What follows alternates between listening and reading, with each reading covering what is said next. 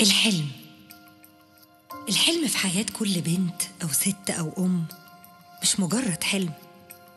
ده حلم بيكبر كل يوم. ممكن يكبر جدا في لحظة وممكن برضه يتهد في لحظة. ممكن يبقى صعب توصله بسبب اختلافها أو ظروفها بس في الآخر بتوصل له.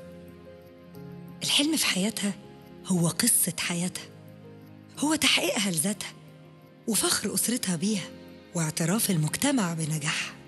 في الآخر بتشوف حلمها بيتحقق قدام عينيها على مدار عمرها ومش مهم في أي سن لأن حلمها مش مجرد حلم حلمها كان في الأصل علم.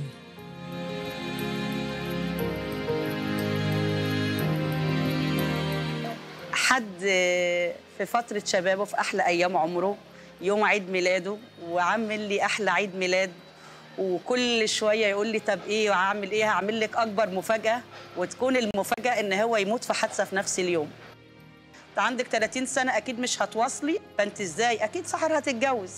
فيبقى الأولى بقى آه، عم الولاد. يعني بأي حق برضو إن ده يبقى يبقى عادات. فأنا اخترت بقى اخترت اللي أنا أتعلم اخترت اللي أنا أدرس اخترت اللي أنا أقرأ. أنا كان صاحبي الكتاب. أنا بموت في البيت بس لما باجي شغلي بتدب فيا الروح. لما كنت بدخل فصل أو كنت بدخل قاعة تدريب. وأنا في البلد أنا عندي جوزي وعندي أرضي وعنده حاجته. بس ممنوع تاخد حقك. لما عيالك تكبر ويجوا ياخدوا حقهم. فأنت عندك ومش عندك. مرتب ومعاش. وبعدين ذهبي بقى حتة في حتة في حتة في حتة. خلص. ضحكتهم بالدنيا عندي. أول حاجة تفرحني إن أنا أشوف ضحكة ولادي إن أنا أشوفهم مستريحين.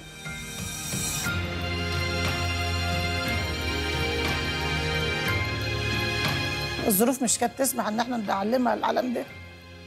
إحنا ناس على جدنا والحمد لله. هي ما شاء الله عليها من صغرتها. وهي متحمسة للعلام وبتجيب على اخر ما معاها في في اللي يعني.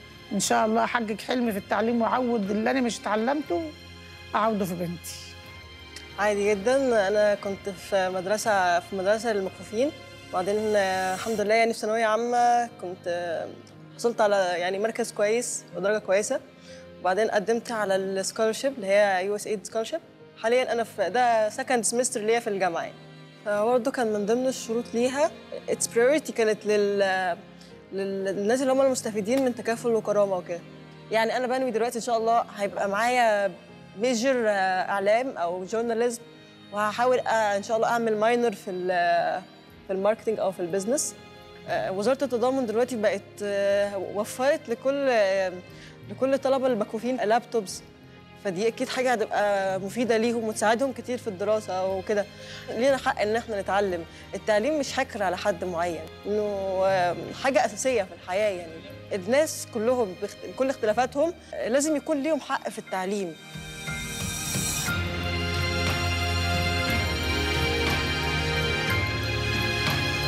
أنا مواليد 36 شهر ثلاثة يبقوا كام؟ 74 87 طيب شوفوا الواحد عايز يرجع ورا عشان يبقى جميل لكن ما فيش فايدة أبويا كان صعيدي مش راضي يوديني المدرسة.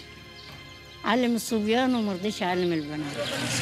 اللي يقول لك بعد ما شاب ودوه الكتاب ده عبيط اللي يقول لك كده. لا يروح الكتاب. يوميا مع التكافل الجماعة كانوا بيقولوا فيه هنا محو أمي. قلت والله وأنا فايتة من المدرسة قلت طب ما أنا أخش. يمكن رجلي تيجي يعني. فرجلي جت. خشيت الفصول هنا. تبع تكافل وكرامة بعت على تختة زي دي قلت والله كان نفسي أقعد على تختة زي دي. يا سلام راكبة الفرس نادرا علي. أعلم عشرين مش عشر وغير اسمي كمان كتبت كملتها وكتبت قلت بحبك يا سيسي. بحب الرئيس ليه؟ الراجل اللي يعمل مصلحة على أي منطقة يشكر ألف مرة.